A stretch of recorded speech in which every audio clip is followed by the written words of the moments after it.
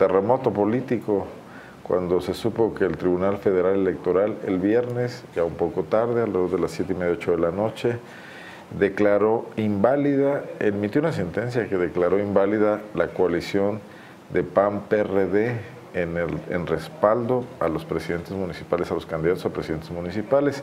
Esto por haberse conformado dos alianzas y la primera en tiempo fue la que conformaron PAN, PRD y, Movimiento Ciudadano para la candidatura a gobernador.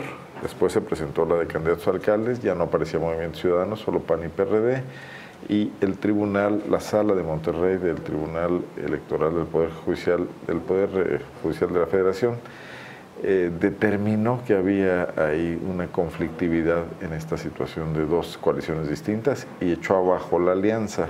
¿Qué quiere decir esto? Bueno, pues que el PAN deberá ir con sus candidatos, el PAN tiene 40 de los 46 en esta alianza, el PRD tenía 6, el PRD entra en un serio problema si no logran en la última instancia echar atrás esta sentencia que sería nombrar al cuarto para las 12 40 candidatos alcaldes. No pasa lo mismo con las planillas porque la alianza obligaba a que se compartieran alcaldes y síndicos y luego ya cada planilla era distinta dependiendo de los votos que recibieran, el número de regidores que entraban, pero esto le pone una variante aquí al tema en Guanajuato.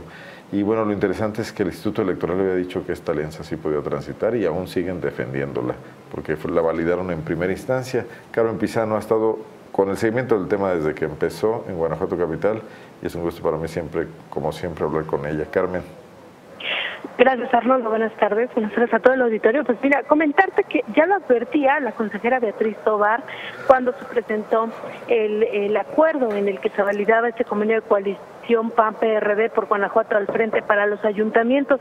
Ella decía, estamos se está rompiendo con el principio de uniformidad porque no están los no son los mismos integrantes de la coalición este que se había registrado para la gubernatura porque incluía Movimiento Ciudadano y que al no al no ser los mismos partidos para ella eran dos este, coaliciones distintas y la ley prohíbe que vayan los partidos políticos en dos coaliciones distintas. Decía, ¿por qué son distintas?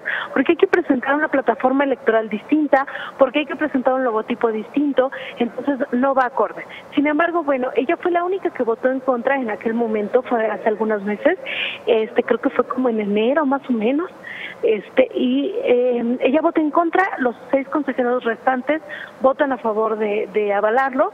Ya en ese momento advertíamos que eh, se podía dar una impugnación, efectivamente el PRI y Morena llevaban impugnación al Tribunal Estatal Electoral, pero la, la respuesta del Tribunal Estatal fue que, este, bueno, confirmando el acuerdo tomado por el Consejo del IEF y Morena, donde. El tribunal aquí en Guanajuato, ¿verdad? Así es. Eh, hasta donde sabemos, Morena fue el único partido que recurrió al Tribunal Federal Electoral, se da este fallo el, día viernes. Y hoy le preguntábamos a los consejeros este qué falló porque en en documentación que hace la presidenta de la sala regional del Tribunal Federal este, Electoral eh, del Consejo de Monterrey, ella decía, nosotros nos apegamos a acuerdos recientes de la sala superior. Entonces le preguntábamos hoy a, en los consejeros, ellos en qué se basaron de, validar esta, esta coalición y ellos dijeron que son exactamente los mismos acuerdos, solamente que la interpretación... A ver, Carmen, Carmen, se bajó un poco el volumen de la comunicación. A ver, ¿ya? Ya, ya, ya, ya, perfecto. Ah, este, eh, ellos decían, son exactamente los mismos acuerdos, solamente que la interpretación jurídica es distinta. Incluso eh, el consejero Santiago López Acosta, el consejero Antonio, Antonio Ortiz, eh, el consejero presidente Mauricio Guzmán Yáñez defendieron la postura que tomaron en su momento y dijeron, bueno, vamos a esperar la determinación del Tribunal este, Federal el Tribunal Electoral del Poder Judicial de la Federación ya comentaban que por medios de comunicación se han enterado que van a, el PAN y el PRD van a, este, a meter un recurso a la sala superior y pues bueno van a esperar a ver que haga su interpretación la sala superior. Ellos comentaban que eh, fue también complicado porque no hay una jurisprudencia. Existen casos y ellos se basaron en uno de Aguascalientes que es un caso similar al de Guanajuato. Y en Aguascalientes ellos les llamaron eh, flexible, que es eso, que no, no todos los partidos políticos tienen que formar parte de la coalición para poder considerarla este, como válida, ¿no? Y que eso es una, es una resolución que también viene del Tribunal Federal Electoral. Pero que van a esperar si es que los partidos meten el recurso a la sala superior y la determinación que, que dé a conocer la sala superior y que bueno pues se va se va a acatar no pues no no no queda de otra. Eso por un lado hablando también comentarte rápidamente que el día 14 de marzo es decir pasado mañana inician los registros para los candidatos a la gubernatura, nada más como dato ahí adicional para tenerlo en el radar. El, miércoles inicia el periodo de registros para los candidatos a la gubernatura. En el caso de la coalición por Guanajuato al frente no hay ningún inconveniente porque el, convenio de, coalición válido pues, es precisamente el de la gubernatura en el que van PAN, PRD y Movimiento Ciudadano. Nada más habrá que esperar las fechas.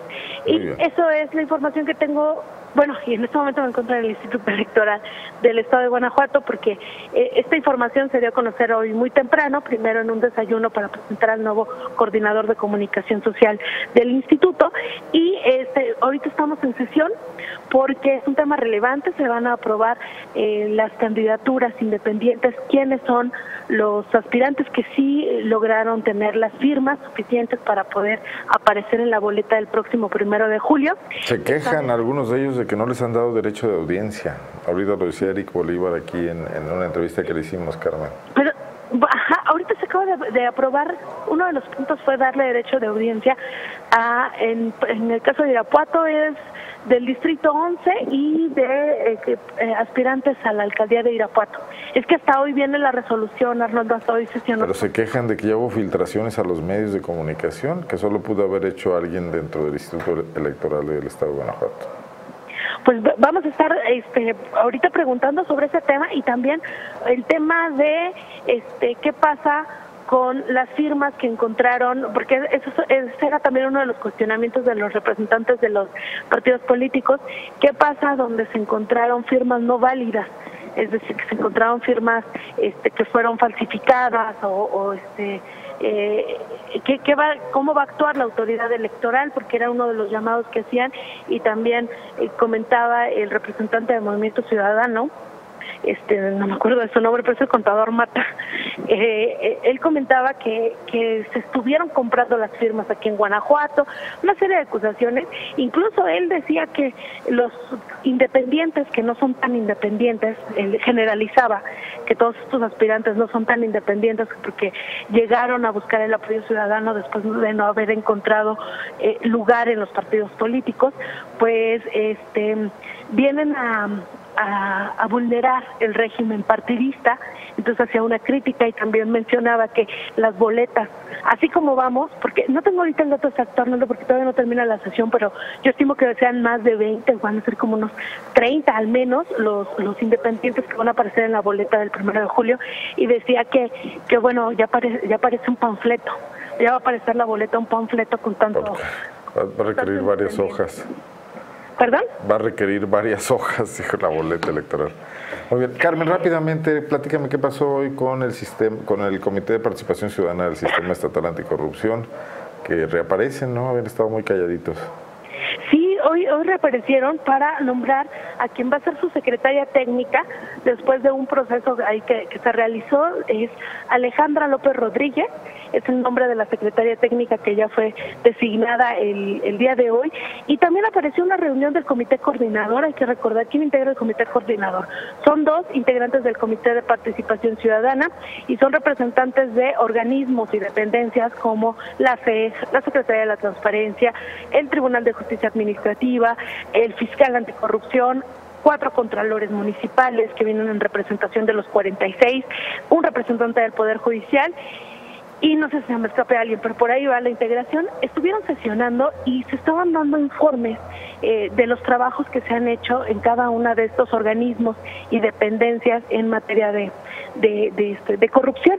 Y bueno, comentarte que primero lo que llamó nuestra atención es que cuando se empiezan con los informes, hay un apartado especial, hay un punto en el que se dedica a conocer los avances que tiene la, Secretaría de Transparencia y Rendición de Cuentas de la auditoría que realiza a la Coordinación de Comunicación Social y eh, de manera concreta lo que aportaba en la lectura que daba Arminda Balbuena, que es la presidenta del comité coordinador, es que se están rastreando todos los contratos que firmó el gobierno del Estado a través de la Coordinación de Comunicación Social con FBM Comercializadora, esta empresa boletinada por operaciones inexistentes.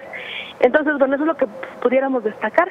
Cada, cada organismo dio un informe, la SEC dio su informe, la Secretaría de la Transparencia dio su informe, pero relacionado a las declaraciones patrimoniales. Este, también dio su informe la, la del IACIP, está Ángeles Ducoy.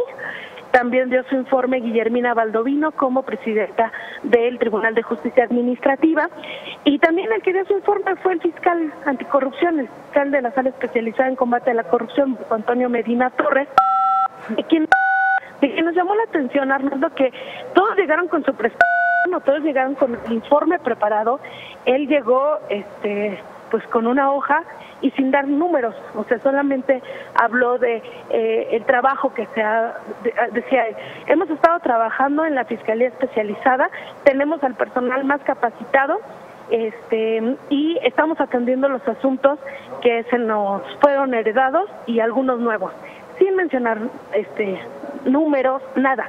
Ya en la entrevista posterior quisimos ahondar en el tema y solamente nos dijo que tenían más de 100 casos en investigación, que 12 terminados aproximadamente porque no traía los datos, o sea, llega sin cifras, sin, sin información a presentar un informe ante el comité coordinador, que eh, eso llamó mucho la atención porque eh, venía en contra total de que se venía manejando con el resto de los organismos autónomos. Este, y también habla de que sí, que eh, hubo una reestructura en la Fiscalía Especializada, eh, que aproximadamente el 50% de los que eh, se, quedaron, pero otros más se fueron, y pues ya, o sea, lo hizo de manera general, ¿no? Vale, poca seriedad. Oye, veo que Arminda Balbuena, presidenta del Comité de Participación, exhorta a que en México se resuelva ya la Fiscalía Anticorrupción. Solo espero que no, que no quiera que se resuelva como aquí, con un fiscal adscrito al procurador y ex empleado de él. Empleado de él, de hecho, todavía, ¿no? Exacto, sí, porque primero hicieron, eh, se me había pasado, gracias, hicieron una conferencia de prensa para hacer este pronunciamiento que ellos comentaban, es junto con otros 20 eh, estados del, del, país, para que las autoridades federales ya hagan los nombramientos del fiscal especializado en combate a la corrupción, pero que también hagan el nombramiento de los 18 magistrados que van, se van a hacer cargo de la sala especializada este, del Tribunal Federal de Justicia Administrativa y también hacen el llamado a por más recursos en los estados y a nivel federal para que pueda operar el sistema estatal, el sistema nacional anticorrupción y los sistemas estatales anticorrupción. Ella aseguraba que en el caso de Guanajuato, pues ellos no han tenido problemas, que ya tienen oficinas propias, este, de hecho ahí nos convocaron el día de hoy, ya eh, que el gobierno de Guanajuato a través del secretario de Finanzas y del secretario de Gobierno pues, hemos mostrado accesible para otorgar los recursos, ya tienen ellos un sueldo.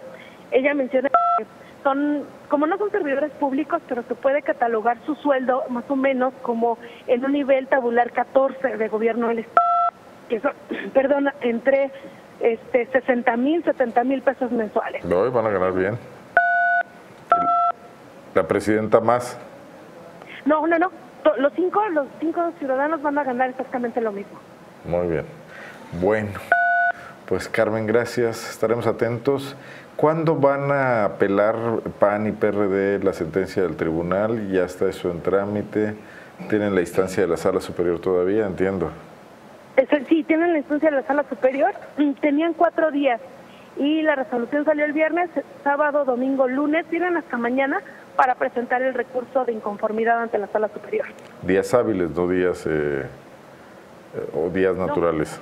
No, no, no. Lo que me comentaba Baltasar Zamudio es que no, porque en proceso electoral todos los días se cuentan como hábiles. Correcto. Sábado y domingo. Muy bien. Bueno, pues muchísimas gracias. Estamos pendientes de ese tema que le puso algo de interés a esa situación. Gracias, Arnoldo. Hasta luego. Carmen Pizano, desde Guanajuato Capital.